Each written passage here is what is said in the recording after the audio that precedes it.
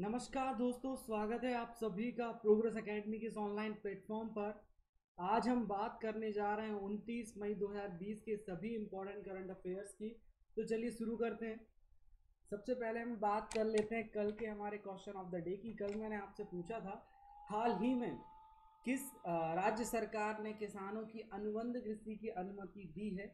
तो अभी हाल ही में, हाल ही में क्या हुआ है? जो उड़ीसा की राज्य सरकार है उन्होंने किसानों के लिए उन्हें किसानों के लिए क्या है? अनुबंध कृषि जो कॉन्टेक्ट फ़ार्मिंग है उसको स्टार्ट किया है। इसका मुख्य उद्देश्य क्या है? इसका मुख्य उद्देश्य है आ, किसानों की किसानों का जो आर्थिक लाभ हो तो किसानों में विकास दर है जो खेती की तरफ़ लोगों का रुझान बढ़े। जैसा आप सभी लोग देख रहे हैं कि कोविड नाइन्टीन के कारण बहुत सारे बिज़नेस बंद हो रहे हैं। बंद चल रहे हैं अभी लेकिन कृषि जो है वो कार्य लगातार चल रहा है और वो एक ऐसा काम है जो कि काफ़ी बेनिफिट प्रोवाइड कर रहा है इस टाइम में भी। तो इस कारण से जो किसान, किसानों को लाभ प्रदान करने के लिए, आर्थिक सहायता देने के लिए उड़ीसा की जो सरकार है, उसने अनुबंध कृषि की अनुमति दी है और उसके तहत क्या होगा, जो सरकारी ज़मीन होती है, जो ऐसी पड़ी हुई है तो उसके लिए कॉन्टैक्ट बेस पर फ़ार्मिंग वहाँ पे की जाएगी। चलिए आगे बढ़ते हैं। ट्राइफेड ने वन धन सामाजिक जागरूकता अभियान के लिए किसके साथ साझेदारी की है? तो अभी क्या हुआ है? ट्राइफेड ने यूनिसेफ के साथ। ट्राइफेड ने यूनिसेफ के साथ तो यहाँ पे दो वर्ड ऐसे हो गए जो आपको यहाँ पे जानने की ज़रूरत है। पहले तो ट्राइफेड, यूनिसेफ आई थिंक आप लोग जानते होंगे। और एक वन धन सामाजिक दूरी जागरूकता अभियान। ठीक है ना? तो अब देख लेते हैं इसके बारे में ये है क्या। ट्राइफेड, यदि ट्राइफेड की बात की जाए तो ये इसका फुल फॉर्म होता है ट्राइबल कोऑपरेटिव मार्केट फेडरेशन ठीक है ना? जनजाति लोगों के लिए जो बना हुआ रहते हैं, उनके लिए काम करती है, उनके आर्थिक विकास के लिए काम करती है। यूनिसेफ ने क्या किया है? बंधन जाग सामाजिक जागरूकता अभियान के लिए शिक्षा, संवाद आदि के लिए आवश्यक सामग्री उपलब्ध कराई है। ठीक है? बातचीत हो सके, उनसे कांटेक्ट होता रहे, उनकी एजुकेशन भी चलता रहे, चलती रहे। तो यूनिसेफ ने क्या किया उनके लिए बहुत सारी इंपॉर्टेंट जो थिंग्स है वो प्रोवाइड कराई हैं। और इसके तहत क्या किया जा रहा है? कोविड नाइन्टीन से बचने के लिए वहाँ पे प्रशिक्षण भी दिया जा रहा है सोशल डिस्टेंसिंग और होम क्वारंटाइन जैसे कई अभियान चलाए जा रहे हैं, जिसके थ्रू क्या है, उनको बताया जा सके कि आपको क्या करने से आपको क्या लाभ मिलेगा। क्योंकि आप सभी जानते हैं जनजाति जो लोग होते हैं, इतने ज़्यादा शिक्षित नहीं होते हैं। और, यहाँ पे देखिए, अब ये सब कर कौन रहा है? ये सब यूनिसेफ कर रहा है। तो यूनिसेफ की बात कर लेते हैं। यूनिसेफ का जो स्थापना हुई थी, वो 11 दिसंबर 1940 को हुई थी। अच्छा और, इसका फुल फॉर्म कई बार अक्सर एग्ज़ाम में आ जाता है। तो United Nations International Children Emergency Fund इसका मुख्यालय न्यूयॉर्क में है। और वर्तमान में इसके जो हेड हैं, वो एटा एच फोर है, ठीक है? आगे बढ़ते हैं अगली न्यूज़ की तरफ़। हाल ही में किस राज्य सरकार ने सैतालीस हज़ार से अधिक नौकरियों के सृजन के लिए पंद्रह हज़ार करोड़ रुपए से अधिक के समझौता ज्ञापनों पर हस्ताक्षर किए हैं। तो पंद्रह हज़ार करोड़ से अधिक के समझौता जो ज्ञापन है उन पर हस्ताक्षर हस्ताक्षर किए तमिलनाडु सरकार ने। तमिलनाडु सरकार ने ऐसा काम किया और इसमें जो है सैतालीस हज़ार एक सौ पचास लगभग नौकरियों के सृजन की इसमें बात कही गई है और पंद्रह हज़ार एक सौ अट्ठाईस करोड़ रुपए के सत्रह जो समझौता ज्ञापन है उस पर हस्ताक्षर किए गए हैं। और इस समझौते के तहत बहुत सारी कंपनियाँ जैसे डैमलर इंडिया, सॉलकॉम, महिंद्रा, ऐसी बहुत सारी कंपनियाँ जो हैं, वो तमिलनाडु में निवेश करेंगी। उदाहरण के लिए यदि बात की जाए तो जैसे डैम्बलर इंडिया है, वो बाईस सतहत्तर करोड़ रुपए का निवेश करेगी, जिसमें 400 400 नौकरियाँ पैदा होंगी या उत्पन्न होंगी। और यदि हम बात करें, ये एक एमएनसी है फिनलैंड बेस्ड सॉलकॉम ये 1300 करोड़ रुपए का निवेश करेगी, जिससे क्या होगा, जिससे लगभग दस हज़ार नौकरियों का सृजन होगा। इस तरीके से क्या हो रहा है कि जो विदेशी निवेश हो रहा है, इससे इससे तमिलनाडु में रोज़गार आएगा और एक जो आर्थिक मंदी जिसकी बात कही जा रही है पूरी दुनिया में, जिसका एक डर बना हुआ है, इससे निपटने में मदद मिलेगी। आगे बढ़ते हैं। केंद्र सरकार अखिल भारतीय न्यायिक सेवा के निर्माण के लिए एक ड्राफ्ट बिल तैयार कर रही है। एआईजेएस का प्रावधान संविधान के किस अनुच्छेद में है? जैसे आपने देखा यूपीएससी एक पेपर होता है। यूपीएससी पेपर लेता है, जिससे क्या होता है आईएएस आईपीएस बनते तो इसी की तर्ज पे एक और पेपर एक परीक्षा होने का जो प्रावधान है, वो भारतीय संविधान में है। और उसके तहत क्या होगा, अखिल भारतीय न्यायिक सेवा एक जो परीक्षा होगी, उसको चालू किया जाना है। और इसके लिए भारत सरकार जो है, एक प्रावधान ला रही, एक बिल तैयार कर रही है और ये विधेयक ला के इसको जारी किया जाएगा, शुरू किया जाएगा। तो ये जो है ए का प्रावधान है, संविधान की किस अनुच्छेद में तो इसका राइट आंसर ऑप्शन डी है। अनुच्छेद 312 में इसका प्रावधान लिखा गया है, बताया गया है, और इसके तहत होगा क्या? इसके तहत क्या है? विधेयक को अंतिम रूप दिया जाएगा अभी। भारत सरकार इसको देने की कोशिश कर रही है, और इससे होगा कि एक प्रवेश परीक्षा, एक प्रवेश परीक्षा शुरू की जाएगी।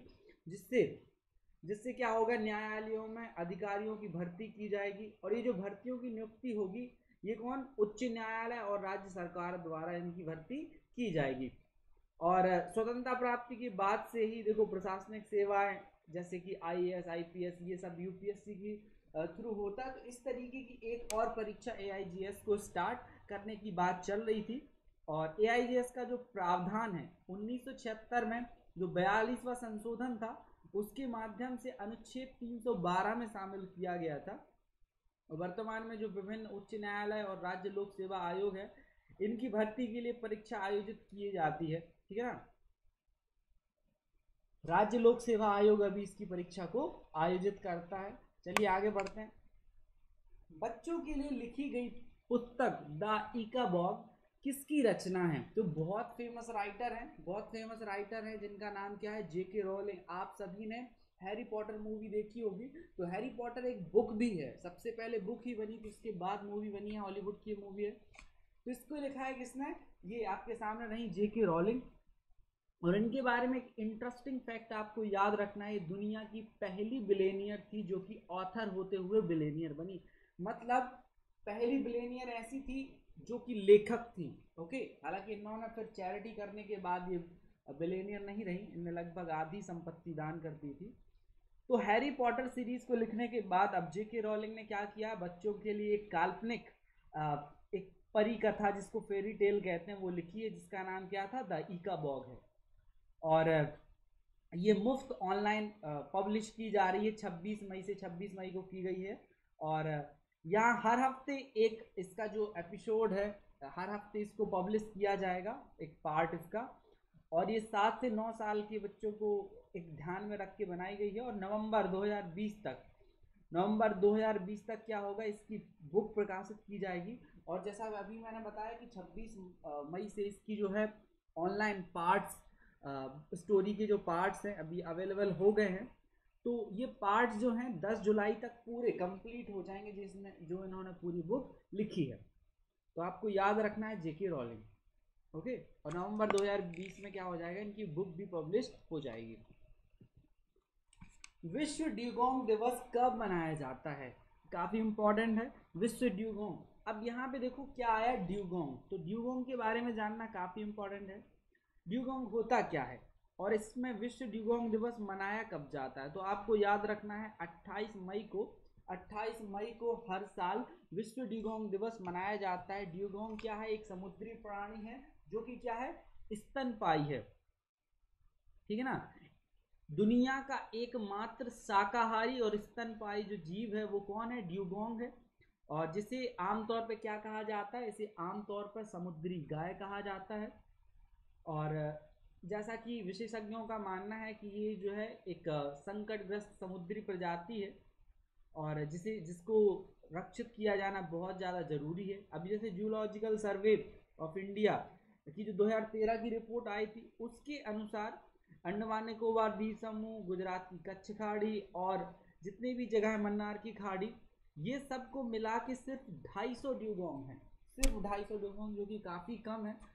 तो आगे बढ़ते हैं। हाल ही में ऑस्ट्रेलिया के पश्चिमी तटों पर एक चक्रवातीय तूफ़ान ने नुकसान पहुँचाया है, इसका नाम क्या है? तो देखिए ऑप्शन ए जो अम्फान है, वो तो अभी आपको पता है कि भारत में आया था।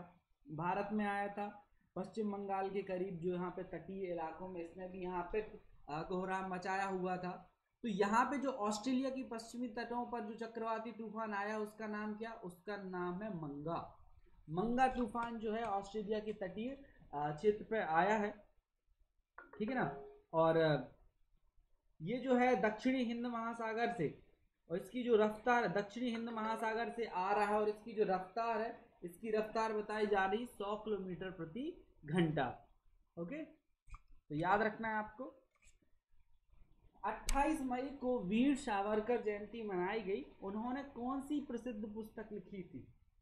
तो अभी 28 मई को वीर सावरकर जयंती मनाई गई उन्होंने एक पुस्तक लिखी जिसका नाम क्या है? The Indian War of Independence the Indian War of Independence 1857 ये उन्होंने बुक लिखी थी। और 28 मई को क्या हुआ? कि प्रधानमंत्री नरेंद्र मोदी जी ने मन की बात रेडियो कार्यक्रम के ज़रिए वीर सावर जी को श्रद्धांजलि अर्पित की। और उन्होंने ये बताया कि जो अठारह का जो विद्रोह था, एक सैनिक विद्रोह नहीं था वो। एक स्वतंत्रता का पहला संघर्ष था और जिसने देश को स्वतंत्रता के प्रति प्रेरित किया था। और जो विनायक दामोदर वीर सावरकर हैं, इनका जो जन्म है अठारह सौ तेईस में, अठारह सौ तिरासी में हुआ था, आपको याद रखना आगे बढ़ते हैं। वायुसेना ने किस स्वदेशी हल्के, लड़ाकू विमान के दूसरे स्क्वाड्रन का शुभारंभ किया है।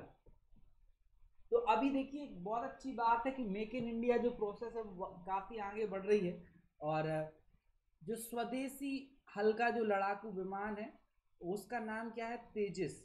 ये दूसरा अपना स्वदेशी हल्का लड़ाकू विमान है और इसकी शुरुआत की गई अभी देखिए स्क्वाडन नंबर 18 फ्लाइंग बुलेट्स का शुभारंभ किया गया है। किसके द्वारा किया गया है? इसका शुभारंभ किया गया है जो एयर चीफ मार्शल हैं। एस के भदौरिया वायुसेना प्रमुख हैं। उनके द्वारा कोयम्बटूर के निकट किया गया सुलूर वायुसेना अड्डा में। ठीक है? अब बात यहाँ पे देखिए वायुसेना की चल रही है तो वायुसेना की स्थापना कब हुई? वायुसेना की स्थापना की गई थी 8 अक्टूबर 1932 को। और वर्तमान में जो हमारे वायुसेना प्रमुख है, मैंने अभी बताया, air chief Markle marshal R K S Bhadauria. चलिए आगे बढ़ते हैं। पी के नायर को किस देश में भारत का नया राजदूत नियुक्त किया गया है? तो पी के नायर को नाइजर देश में, कहाँ पे? नाइजर देश में भारत का पहला राजदूत नियुक्त किया गया है। ओके? जो नाइजर गणराज्य है, उसको वहाँ पे प्रेम के नायर को यहाँ पे नया राजदूत नियुक्त किया गया है। और ये वर्तमान में हम्बन टोटा में क्या है? भारत के महावाणिज्य दूत के रूप में तैनात हैं।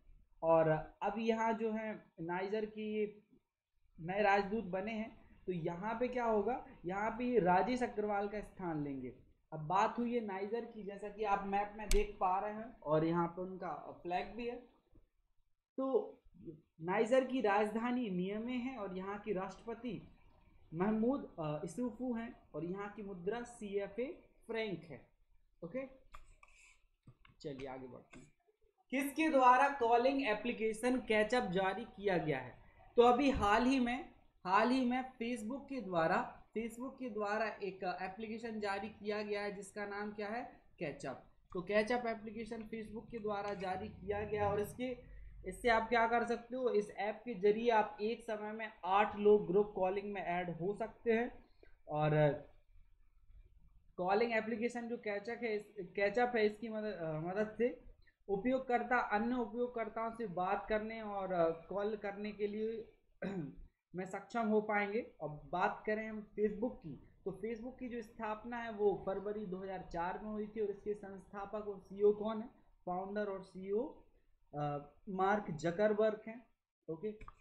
और अभी फेसबुक काफ़ी खबरों में रहा है क्योंकि रिलायंस जियो में इसने हिस्सेदारी अपनी खरीदी। नौ दशमलव नौ नौ प्रतिशत रिलायंस के साथ ही इसने सुपर ऐप बनाने का एक करार किया है। तो काफ़ी सारी न्यूज़ अभी फेसबुक से आई है। अभी जनजातीय विभाग में भी इसने थोड़ा सा अपना योगदान दिया है। तो आपको याद रखना है, सारी न्यूज़ को एसोसिएट करके रखना है अपने पास। अब आज का हमारा क्वेश्चन ऑफ़ द डे देख लेते हैं। भारतीय जीवन बीमा निगम LIC ने किस किस संशोधित योजना को लॉन्च किया है? तो किस संशोधित योजना को लॉन्च किया ये आपको बताना है। प्रधानमंत्री वय वंदना योजना, सुकन्या योजना या प्रधानमंत्री स्वावलंबन योजना। ठीक है? और यहाँ पे चौथा ऑप्शन भी है, प्रधानमंत्री जागृति योजना। तो चार में से आपको एक राइट आंसर बताना है। तो आज के लिए बस इतना ही। मिलते हैं कल। तब तक के लिए धन्यवाद।